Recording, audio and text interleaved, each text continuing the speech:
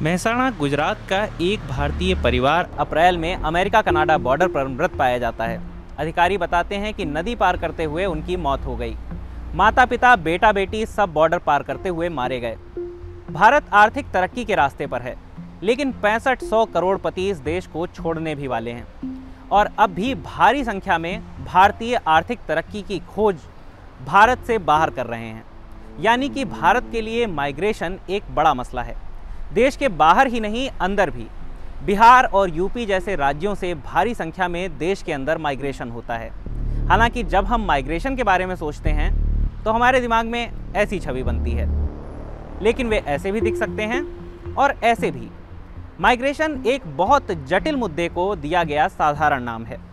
वैसे तो रिफ्यूजी और शरणार्थी माइग्रेंट्स होते हैं, लेकिन असल में दो तिहाई माइग्रेंट काम की खोज में एक जगह से दूसरी जगह गए होते हैं। माइग्रेशन से जुड़ी और भी कई गलत अवधारणाएँ हैं, जिनमें से पाँच की सच्चाई हम आपको बता रहे हैं। पहली है माइग्रेशन नीति सख्त होगी तो माइग्रेशन कम होगा। दीवारें, बाढ़, सीमाबंदी, ये सब अवैध माइग्रेशन को रोकने के तरीके हैं।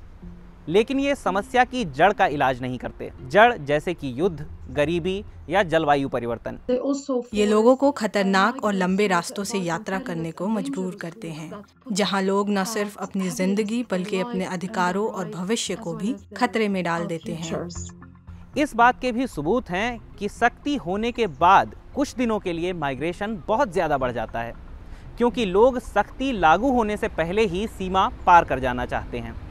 और जब माइग्रेंट्स के लिए एक से दूसरी जगह जाना मुश्किल हो जाता है तो वे उसी देश में स्थायी तौर पर रुके रह सकते हैं, जहाँ वे उस वक्त हैं।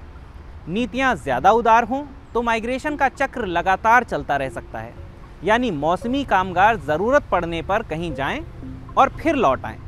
दूसरा भ्रम, देश की अर्थव्यवस्था विकसित होने पर उस देश को कम लोग छोड़कर जाते हैं। सुनने में ठीक लगता है ना?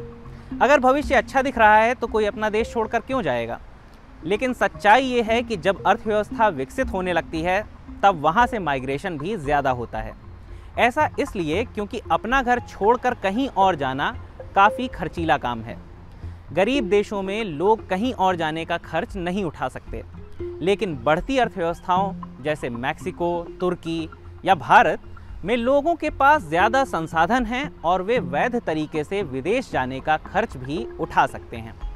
लेकिन बात बस खर्च की नहीं है। जैसे जैसे अर्थव्यवस्था विकसित होती है लोगों की महत्वाकांक्षाएँ भी बढ़ती हैं। कई बार माइग्रेशन सिर्फ़ हिसाब किताब पर आधारित नहीं होता। लोग अपने भविष्य के विकल्पों में विविधता भी लाना चाहते हैं। वे संतुष्टि और विकास के नए अवसरों की तलाश करना चाहते हैं। हालाँकि ऐसा कुछ हद तक ही होता है। एक बार विकास एक सीमा पर पहुँच जाए और लोगों की महत्वाकांक्षाएँ देश में पूरी होने लगें तो उनके कहीं और जाने की संभावना भी कम हो जाती है। तीसरा भ्रम जिन देशों को लोग छोड़कर जाते हैं उनका नुकसान होता है। जब कोई अपना देश छोड़ता है तो अपनी शिक्षा अपना कौशल और पैसे कमाने की संभावनाएँ अपने साथ ले जाता है। आम धारणा है कि इससे तो उसके देश का नुकसान होता है। आप्रवासन कोई श्राप नहीं है। किसी देश के विकास में माइग्रेशन सबसे बड़ी बाधा नहीं है। ये कई बाधाओं में से बस एक है। काम की तलाश में प्रवासी अक्सर उन देशों से आते हैं जिनकी आबादी बहुत ज़्यादा हो और काम व संसाधन कम हो। लोगों के चले जाने से उस देश में बेरोजगारी दर का दबाव कम होता है और रोज़गार दर बढ़ती है। माइग्रेशन तो किसी देश के विकसित होने में मदद कर सकता है। लोग बाहर जाते हैं पैसा कमाते हैं और वापस भेजते हैं। साथ ही जब वो अच्छा खासा पैसा कमा लेते हैं तो वापस आ जाते हैं। विदेशों से भेजा गया ये पैसा बहुत अहम होता है। हालाँकि ऐसा नहीं कि इसी से विकास हो जाता है लेकिन इससे परिवारों और समुदायों को बड़ी मदद मिलती है और कई बार पूरी अर्थव्यवस्था को भी। मसलन ताजिकिस्तान में 2022 में विदेशों से आया पैसा देश की कुल जीडीपी का लगभग एक तिहाई था। ऑस्ट्रेलिया के पास बसे टोंगा में तो ये लगभग आधा था। लेकिन ध्यान रहे बात सिर्फ़ पैसे की नहीं है। जब लोग एक जगह से दूसरी जगह जाते हैं तो नए विचार फैलाते हैं। नए सामाजिक सांस्कृतिक और राजनीतिक रास्तों को खोलते हैं। सिर्फ़ वापस अपने घर पैसे ही नहीं भेजते। और बहुत से मामलों में माइग्रेशन के कारण मूल देश में शिक्षा और प्रशिक्षण का विकास होता है। चौथा भ्रम माइग्रेशन से अर्थव्यवस्था को नुकसान होता है। शोध दिखाते हैं कि विकसित देशों में यानी प्रवासी अपना देश छोड़कर जहाँ पहुँचते हैं वहाँ माइग्रेशन से आमतौर पर उत्पादकता और आर्थिक विकास बढ़ता है। ये देश माइग्रेशन के कारण सफल नहीं है। वो इसलिए सफल हैं क्योंकि वहाँ कानून का राज है और शिक्षा का मज़बूत ढांचा है। लेकिन माइग्रेशन के बिना वो इतने सफल नहीं होते जितने आज हैं। माइग्रेशन उनकी सफलता में एक महत्वपूर्ण कारक है। इन देशों में सरकारी संसाधनों पर बोझ बनने के बजाय प्रवासी ज़्यादा टैक्स देते हैं और जितना उन्हें फ़ायदा मिलता है उससे कहीं ज़्यादा वे समाज को लौटाते हैं लेकिन आर्थिक चुनौतियाँ भी हैं।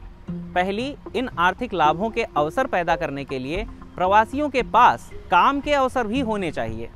ये भी संभव है कि कम कुशल कामगार प्रवासी वेतन का स्तर कम कर दें। जिससे उस देश में गैर बराबरी बढ़ जाए। पांचवा भ्रम, माइग्रेशन से आबादी में बुढ़ापे की समस्या हल हो सकती है। बहुत सारे पश्चिमी देशों में आबादी बूढ़ी हो रही है। इसका मतलब है काम करने वाले घट रहे हैं। वर्कफोर्स में आती इस कमी को पूरा करने के लिए उन्हें युवा प्रवासियों की ज़रूरत होती है।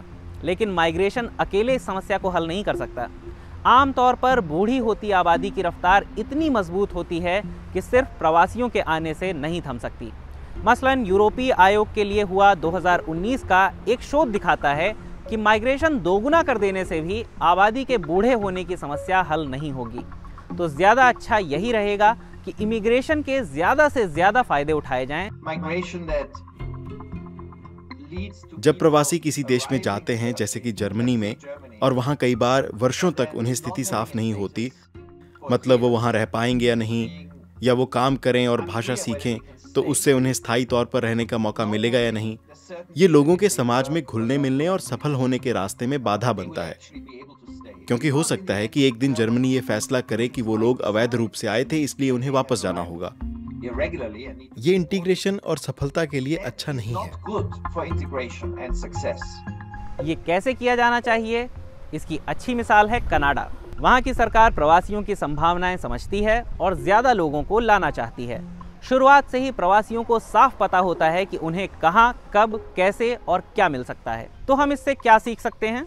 माइग्रेशन हमेशा होता रहेगा। ये मानवीय स्थिति है। हमेशा रही है और हमेशा रहेगी। इसलिए ऐसी माइग्रेशन पॉलिसी हो जो मानवीय स्थितियों के अनुकूल हो। मसलन सरकारें सुरक्षित और वैध माइग्रेशन को बढ़ावा दें। अगर सही तरीके से अंजाम दिया जाए तो प्रवासी जहाँ से आएँगे और जहाँ जाएँगे दोनों देशों को फ़ायदा पहुंचाएँगे।